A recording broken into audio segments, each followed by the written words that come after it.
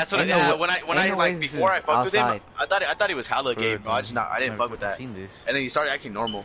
Huh? What? Was the key? Your friend? Oh, the... yeah, there, there's no way this outside. I'm trying to think of other people that act hella sus that I just don't fuck with. I don't like Chibred. I just don't like him.